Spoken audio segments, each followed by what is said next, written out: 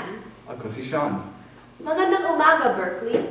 Ngayon ang ating special report tungkol sa buhay sa campus. Inisip niyo ba kung ilang porsyento sa campus ang Pilipino, Bombay, Amerikano at iba pa? Swerte kayo kasi sa kamay ko ngayon ang mga statistics ng mga undergrad sa Berkeley mula sa 2005.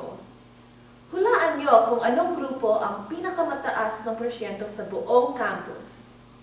Handa na ba kayo? Kung inisip nyo na mga Asyan ang pinakataas na porsyento sa buong campus, tama kayo.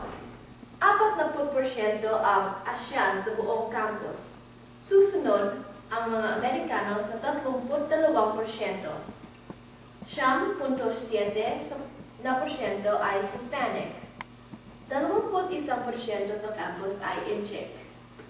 Mga 6 na porsyento ay Koreano. Mga 4 na porsyento ay Silangan Bombay. 3.8 porsyento ay Pilipino o Phil-Am. 3.6 porsyento ay itim. At ang pinakamababa ng porsyento sa buong campus ay ang mga grupo ng Pacific Islander. Wow, talaga? Oo, at saan kaya sila nakatira? Well, Pam, karamihan ng mga freshmen nakatira sa mga dormitoryo. Maraming nakatira sa Southside tulad ng Unit 1, 2, 3, at Channing Bowditch. Ang pinakamalapit na dorm ay ang Unit 3 at ang pinakamalayo ay Clark Kerr. Marami din mga estudyanteng tumitira sa mga apartment at may iba rin na tumitira sa mga bahay ng mga Greeks. Kung taga ibang bansa ka, pwede ka rin tumira sa iHouse.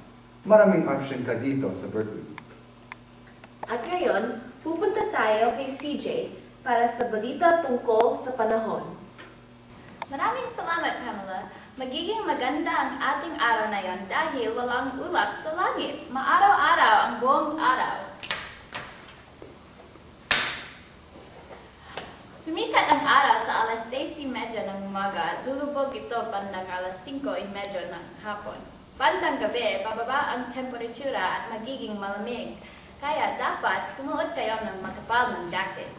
Ang pinakamataas na temperatura ay magiging 64 degrees Fahrenheit at ang pinakamababa ay magiging 40 degrees Fahrenheit. Kung gusto ninyong pumasyal o, o mag-shopping sa SF para sa Pasko mamaya, malamig doon kaya magdadala kayo ng jacket. Bukas, iiba ang ating panahon. Uulan ng malakas kaya magdala kayo ng kapote o payong. Ang pinakamataas na temperature ra ay magiging 50 degrees Fahrenheit at ang pinakamababa ang, ay magiging 40 degrees Fahrenheit. Ako po si CJ ko at, at iyong ang panahon. Balik sa iyo, Sean at Pamela. Salamat, CJ. Ngayon may balita si Duke, ating food critic. Kumusta? Ako si Duke. Alam natin maraming mga ethnic pagkain dito sa Berkeley, pero saan ba ang mga masarap at murang pagkain para sa mga estudyante? Ngayon, nandito ako sa labas ng Racha Cafe Thai Restaurant. Ah, titingnan ko kung titingnan ko kung may bargain deal dito. Okay, pasok tayo. May lunch special daw dito araw-araw. Mula alas 11.30 hanggang alas 4. Lahat ng pagkain sa lunch special, ben, ah, 5 dolyares at 25 centavos lang. Mura nga! Mike, ano na order mo? Nag-order ako ng baboy at kanin. Ikaw, Pam? Manok kasamang peanut sauce at gulay. Sean, ikaw? Etsy yung baboy. Itong thai nila. Mmm, ang sarap naman. Bargain ito para sa wallet ninyo. Hanggang susunod, ako si Duke. Back to you, Sean and Pam. Salamat, Duke. Nandito na si Mike, ating sports buff, para sabihin kung anong nangyari sa big game. Noong Sabado, ang isang daan siyam ng big game ng Cal at Stanford. Kung hindi kayo nanood ng laban, ito ang konting clip. Hoy, sports lover, halika dito. Ah, salamat. May tanong ako. Okay, ano? Ngayon ang malaking game. Excited ka ba? Oo, oh, excited na excited ako. Sa palagay mo, sino ang mananalo? Sino pa? California. Oo. At inasahan ko manalo si Cal. Hmm. Mga dalawang daan puntos. Oh, oh my, talagang panatiko. Oo, panatiko ako.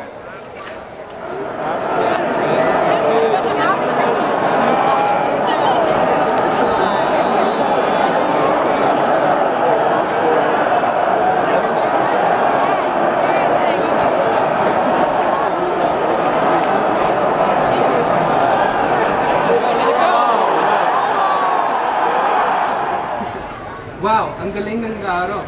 Meron ka bang sorpresa? Akala ko ikaw ang mananalo sa laro ng maraming puntos.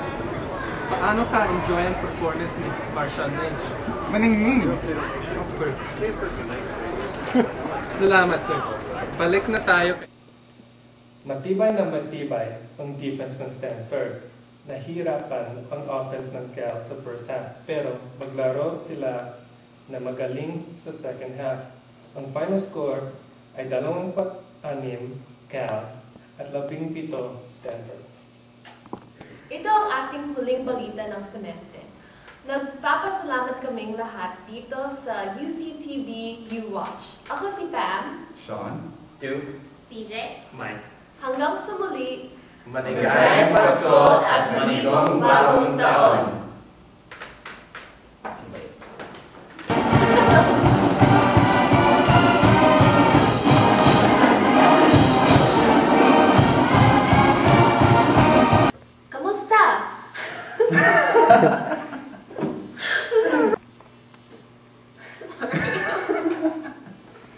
Sa asa, para sa Pasko mamaya, malamig doon, kaya madaga, mag, magdala... You got so Okay. far. Hoy, sports lover! Halika dito! Ah, salamat. May, tan may tanong ko. Okay, ano? Ngayon ang balakang game. Excited ka ba? Excited na excited ako. Oh. Eric! I was like, I was about to say, where's his cue cards? Oh no, delete that. It's perfect. Sa palagay mo, sino ang manalo? oh. Hmm.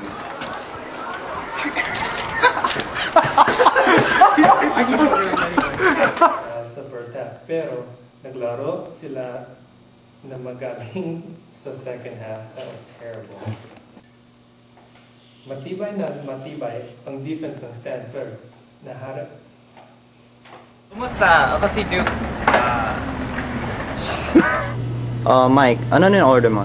Nag-order ako ang baboy at sa kanin.